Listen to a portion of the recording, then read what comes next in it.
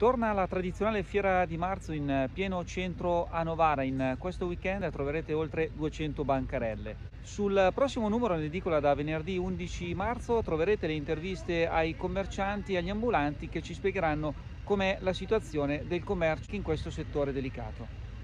Tutto bene, dopo due anni di pandemia se vogliamo, eh, ritorniamo a fare questa fiera.